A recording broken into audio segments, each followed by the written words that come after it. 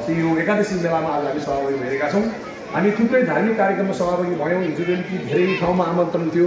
हिजो अस्तिदेखि नै हाम्रा दिदीबहिनीहरूले स्थानीयहरूले धेरै जागरण बसेर अत्यन्तै धार्मिक रूपमा आस्था राखेर एउटा चाहिँ आस्था हामीले राखेका छौँ। पक्कै पनि यो मेलाले यो एकादशी मेलाले हाम्रो ती आस्थाहरूप्रति यसले सम्बोधन गर्छ। हामी आस्थावान बन्छौँ अनुशासित बन्छौँ र हामीले कामना गरेका हाम्रा मनोकांक्षाहरू पुरा हुनेछ। त्यो सुरक्षा पनि म यहाँहरूको बिचमा राख्न चाहन्छु। अब हामी वर्षेसी महोत्सवमा उपस्थित भइरहँदाखेरि यहाँलाई प्रश्न उठ्न सक्छ यो महोत्सवले हामीलाई के हुनसक्छ हामीले धेरै महोत्सवहरू देखेका छौँ। बजारहरूमा विभिन्न जिल्लाहरूमा विभिन्न सहरहरूमा धेरै महोत्सवहरूलाई हामीले नजिकबाट निहाल्दाखेरि महोत्सवहरूका केही राम्रो पक्षहरू केही केही त्यसका चाहिँ खराब पक्षहरू पनि हामीले आउँदैनौँ त्यसले गर्दाखेरि हामी यस्तो महोत्सव गर्न चाहन्छौँ कि त्यो महोत्सवले त्यो मेलाहरूले हाम्रो स्थानीयहरूको जो आयोजना गरिरहेको छ पालिका होला कुनै विभाग होला कुनै समूह होला त्यसलाई र त्यसको पेरिफेरीमा स्थानीय जनताले जनसमुदायले मनोरञ्जन प्राप्त गर्न सकोस् उसले आफ्नो आयोजन वृद्धि गर्न सकोस् हाम्रा उत्पादनहरूको बजारीकरण हुन सकोस् र हाम्रो महत्त्वपूर्ण स्थानहरू त्यो प्राकृतिक हुनसक्छ धार्मिक हुनसक्छ अरू विभिन्न कारणले त्यो महत्त्वपूर्ण हुनसक्छ त्यसलाई दुनियाँको बिच हामीले चिनाउन सकोस्। त्यस कारणले यो सबै कुराहरूतर्फ हाम्रो महोत्सवहरूलाई हामीले केन्द्रित गर्न सक्यौँ भने हामी यसबाट लाभान्वित हुन सक्छौँ। हामी यसबाट भरपुर फाइदा लिन सक्छौँ। स्थानीयले यसले फाइदा लिन सक्छ। हामीले धेरै महोत्सवहरूमा हेऱ्यौँ।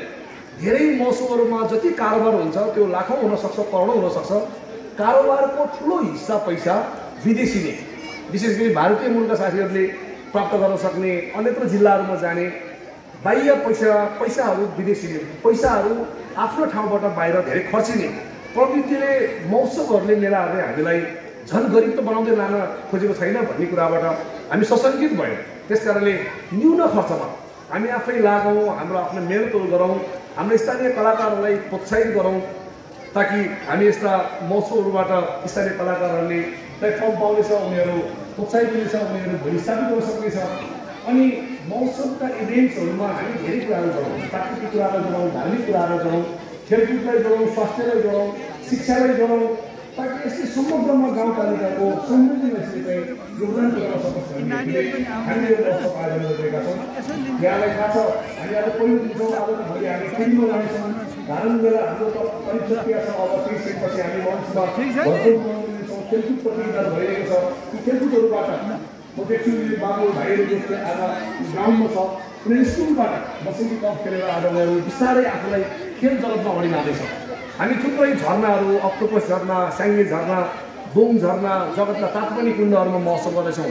हामी हनी हन्टिङ गरेर भिरमहलको शिकार गरेर थुप्रै पर्यटकहरू हामी त्यहाँ लाँदैछौँ। डकुमेन्ट्रीहरू बनाउँदैछौँ। हामी यहाँ नजिकै हाम्रा विभूति राष्ट्रिय विभूति भक्ति थापाको जन्मस्थल पार्क जहाँ हामी कार्यक्रम गर्दैछौँ। आज र भोलि थुप्रै पर्यटक हामी त्यहाँ लाँदैछौँ। डक्टर हबु गुरुङको समाधिस्थल पार्क लगायतका मर्सेली गाउँपालिकाका महत्त्वपूर्ण स्थानहरूमा यो महोत्सवलाई हामी जोड्नेछौँ यो महोत्सवमा हामी पर्यटकलाई जोड्नेछौँ हामी होमस्टे गाउँहरूको प्याकेजहरूमा जोड्नेछौँ मैले पनि केही साथीहरूलाई सम्पर्क गरेको छु त्यही हिसाबले अब यो महोत्सवबाट मर्सेलीवासीले लाभान्वित हुनुपर्छ मनकी आम्दानी गर्नुपर्छ हाम्रा उत्पादनहरू हाम्रा कृषिका उत्पादनहरू हाम्रा स्थानीय घरेलु उत्पादनहरूको बजारीकरण हुने र यसबाट मनकी आम्दानी गर्न सक्ने माध्यमको रूपमा यो बजारलाई यो महोत्सवलाई हामी स्थापित गर्नुपर्छ। योतर्फ म सबै जनप्रति साथीहरू राजनीतिक साथीहरू जो हामी सामाजिक अगुवा साथीहरू छौँ हामी समाजमा अगुवाई गरिरहेका छौँ हामी विभिन्न हिसाबले यो वा त्यो ढङ्गले हामी स्थापित छौँ। हामी सबैले अब यो महोत्सव मार्फत यो निरन्तर हुने महोत्सवहरू मार्फत विभिन्न समयमा हुने महोत्सवहरू मार्फत स्थानीयहरूलाई लाभान्वित हुने कृषिसँग जोड्ने उत्पादनसँग जोड्ने खेलकुदसँग जोड्ने हिसाबले हामी महोत्सवलाई जोड्ने कुरामा हाम्रो योगदान हाम्रो सहयोग म सबैलाई राख्न चाहन्छु र सँगसँगै अन्तमा थोरै विषय के राख्न चाहन्छु भने हामीले धेरै छलफल गऱ्यौँ अध्ययन गऱ्यौँ मर्सेन्टीको सम्भावनाहरू खोज्यौँ। तिनवटा कुरालाई हामीले मर्सेन्टीको सम्भावनाको रूपमा देखेका छौँ। एउटा जलविद्युतको हिसाबले नेपालमै सायदै कम पालिकाहरू हुन्छ। मर्सेन्टी जस्तो जहाँ प्रचुर चाहिँ जलविद्युत आयोजनाहरूको सम्भावना छ। हाम्रो थुप्रै निर्माण सम्पन्न भइसकेका छ थुप्रै निर्माणको चरणमा छ। हामी जलविद्युत उत्पादन गरेर मर्सेन्टीले देशलाई नै ऊर्जा दिन सक्ने विदेशमा ऊर्जा बेच्न सक्ने राष्ट्रलाई योगदान गर्न सक्ने पालिकाको रूपमा हामी लिइरहेका छौँ यसलाई हामीले सहजीकरण गरिरहेका छौँ सहयोग गरिरहेका छौँ। र अर्को चाहिँ हाम्रो पालिका पर्यटनको हिसाबले अत्यन्तै महत्त्वपूर्ण छ। तपाईँहरूले जगतमा जानुभयो भने तात्पर्य कुण्ड छ बाहुनडाँडामा एउटा तात्पर्य थियो। म देख सुन्दैछु त्यो पानी फेरि पनि निस्किँदैछ। त्यसलाई फेरि हामी संरक्षण गर्न सकौँला। तापनि कुण्ड छ जहाँ अ, पर्यटकको तथ्याङ्क लिँदाखेरि झापाबाट पनि झापाबाट मेचीबाट चाहिँ मान्छेहरू हाम्रो तापनि कुण्डमा नुहाउन आएको तथ्याङ्क हामी देखेर त्यसले गर्दाखेरि यो प्राकृतिक वरदान यो तापनि कुण्डलाई अब हामीले स्थापित गरेर यसलाई व्यवस्थित गरेर हजारौँ हजार पर्यटकहरू हामी ल्याउन सक्ने सम्भावना छ। त्यसै कारणले हामी त्यसलाई महोत्सवमा जोडिरहेका छौँ।